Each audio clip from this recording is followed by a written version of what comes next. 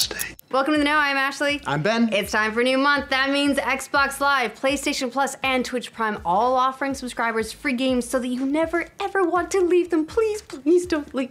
Uh, there's a pretty good variety of games overall this month, so regardless of what you're into, it's probably something you'll like. Yeah, we're gonna run you through each of the games on offer so you know what you might be interested in. And let's not waste any time, let's jump right in. All right, let's kick things off with PlayStation Plus.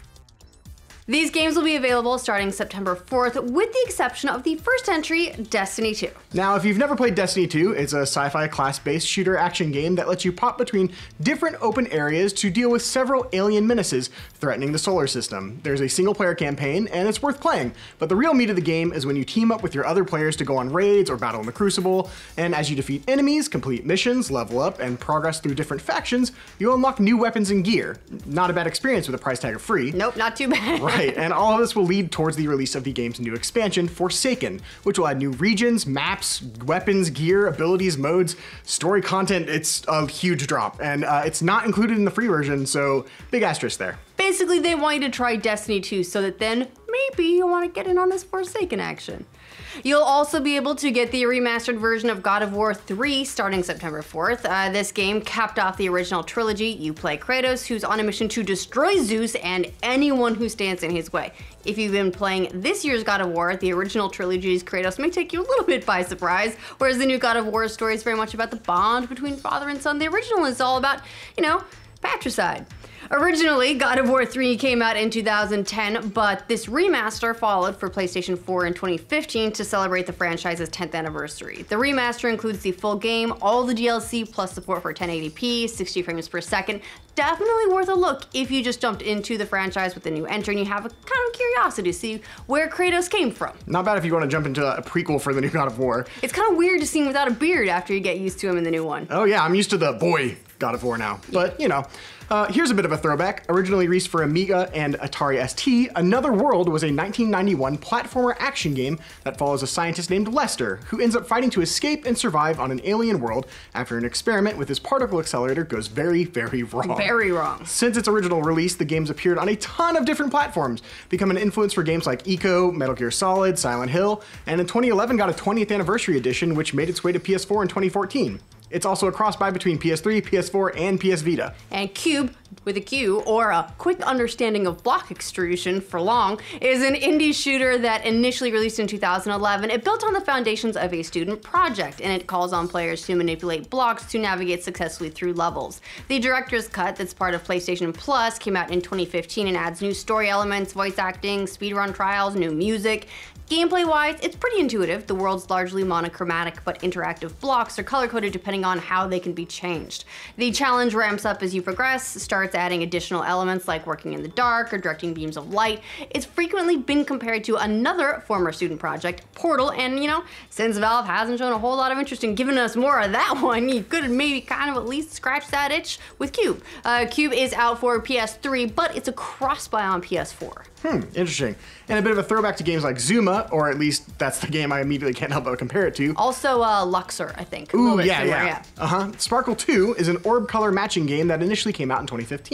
Orbs travel along a track, and it's up to you to match the orbs up into groups of three to make them vanish and keep the line from reaching the end of the board. It's a pretty simplistic concept, but the challenge ramps up as you progress. The music has also been pretty well received. It's kind of hypnotic. It's a great game to pick up and put down, and the different power ups add some fun variety. Sparkle 2 is on PS Vita and is cross buy with PS3 and PS4. Foul Play is an action adventure brawler game that initially came out in 2013 but made its way to PS4 in 2015. In that game, you take Baron Dashforth, the Demon Hunter, and his sidekick Scampwick through side scrolling co op stages. But there's kind of a unique twist here. The stages are all performed on an actual stage in a theater, and you use different actions to then please the theater going audience who's watching. Interesting. Yeah, Foul hmm. Play is on Vita. It's also cross buy with PlayStation 4. Here They Lie is a PlayStation VR psychological horror title that challenges you to explore a city populated by malevolent creatures and make moral choices that have life or death consequences, as you try to solve the mystery of the woman in yellow. This game was one of the launch titles for PSVR when it launched in 2016 and received mixed reviews, but if you're looking for a VR title to check out and, I know, like survival horror and missed it this time around, go check it out. If you like scary games, I will give it a skip. Uh, finally, in the vein of the Jackbox Party Pack games that ask you to bring a smartphone to the game instead of a controller, knowledge is power. The game supports up to six players. It throws a bunch of themed trivia questions at you, which you answer as quickly as possible to progress. With the uh, idea being the Pyramid Summit, you want to be the first one to get to that end goal. The games include touchscreen challenges. You can make player alliances. Ooh. There are power ups and penalties you can throw out there to cause some extra mayhem. Basically, think of this as a party game that's designed to be accessible even for people who generally find controllers to be intimidating, a la your family, real good for something like Thanksgiving, which is coming up in a couple months, so worth picking up. It's yeah. fun, it's different if you've run through all the Jackbox stuff worth picking up for free for sure. I actually kind of like the games where everyone's like on their smartphone and get real mad at each other. Sounds great if you have people together to uh, grill for Labor Day weekend and then uh, a bunch of friends to uh, jump on your smartphones. And it is indeed Labor Day weekend. Mm, yep. So that's what PlayStation has on offer for the month. Now let's look at Xbox. As per usual, these have some staggered dates that are worth paying attention to, so we'll call each of them out for you. Now, if you're into sim and system building games, you may already be familiar with Prison Architect. If not, the game is a top-down construction and management simulation in which you're responsible for juggling building tasks like cell construction and facilities, hiring and managing staff, managing the prison finances. The game actually started as a crowdfunding project in 2012, but then officially launched in 2015. This one's available on Xbox One from September 1st to September 30th. Xbox One's other game for the month is Livelock, a cooperative top-down shooter. You can play the game solo or with up to two other players. There are three different types of chassis you can use, Hex, Vanguard, or Catalyst, and you'll get access to class-based skills depending on how you want to play. There's a story mode in which you explore a post-cataclysmic world and you try to revive humanity, and also a survival mode that generates wave after wave of enemies for you and your friends to tackle. This one will be free on Xbox One from September 16th to October 15th. Now, if you're still on the Xbox 360 train, the first game with gold for September is LEGO Star Wars 3 The Clone Wars. If you ever seen any of the LEGO Star Wars games, you have an idea what to expect already. This one is based on the Clone Wars animated series, but also features characters from the original saga, specifically those around the Clone Wars era. Up to two players can play together to tackle various levels, command armies, which is cool, battle in space, also cool, defeat big bosses. Uh, like the other LEGO games, it's aggressively family friendly, good to play with kids. It's a really good co-op experience. All the LEGO games are really. This one is free on Xbox 360 from September 1st to September 30th. And Sega Vintage Collection Monster World rounds out the Xbox offerings for the month. It's a bundle of three games in the Wonder Boy series, Wonder Boy in Monsterland, Wonder Boy in Monster World, and Monster World 4. One interesting note, this marks the first time Monster World 4 has officially been translated into English. Yeah, it was released otherwise in English, but this is like the first official translation. Kind of weird. That's cool, uh, but that one is kind of a little niche. and it's aimed at players who particularly enjoy side-scrolling action RPGs, and Monster World 4 is the standout of the group. So it's worth taking a look if those descriptors all sound like they, you know, hit the games you want to play. this collection comes free on Xbox 360 from September 16th through October 15th. So that rounds out the Xbox offerings for the month. Time to finish it up with Twitch Prime's offerings. One note before we do, as per usual, Twitch's process is a little different than Xbox or PlayStation. To redeem the Twitch deals, you need to log in on Twitch, click the crown icon in the top right corner of your browser, and you'll be able to find and install all the games from there. Now, all these games are available now through September 30th. Cool, on to the deals. All right, The Adventure Pals is an adventure platformer starring you and your awesome pet giraffe. Ooh. You're on a mission to save your father, who's been kidnapped by Mr. B and is in danger of becoming a meaty fast food snack. No. Yeah, right. No, that's a bad thing to happen to your dad. Uh, you and your giraffe can uncover secrets, take to the skies because apparently giraffe tongues make really great helicopters. Why not? Battle zombie pirates and evil trees, defeat your own evil clone, and battle breakfast food bosses.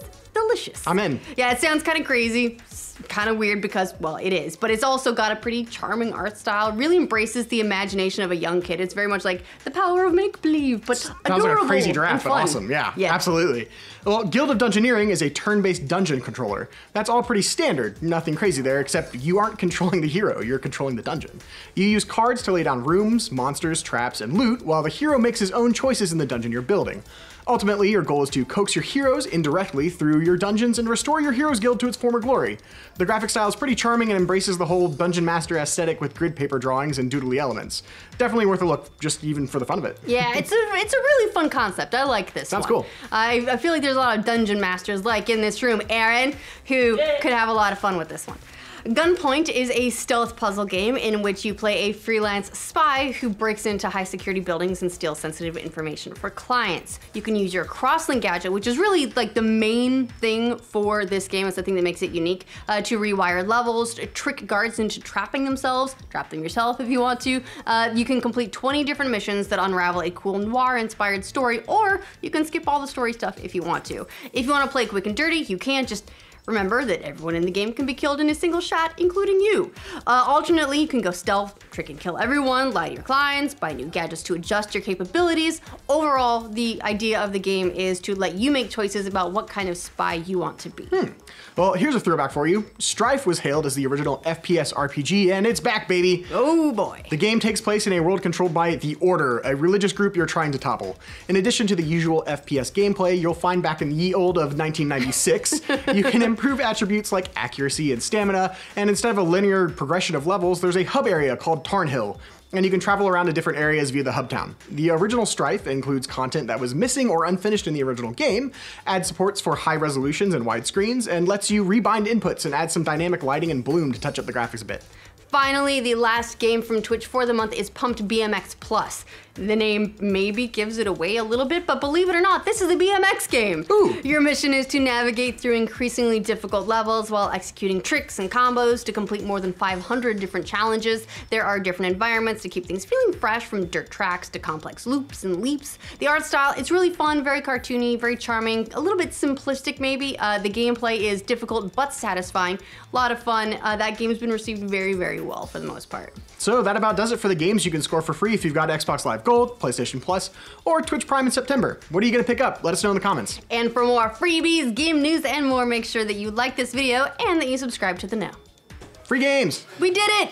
Woo! We did it! I'm gonna check out that Dungeon Master one. Also, buy one of my shirts. They're in the Rooster Teeth store. They're all super awesome. I love these shirts. I'm I so actually gonna go buy one right now. Yes. There's a pretty good variety of games overall this month too, so it's kind of exciting. Lots of fun stuff. Yeah, no one can say no to free games. So we're gonna win you. Eh,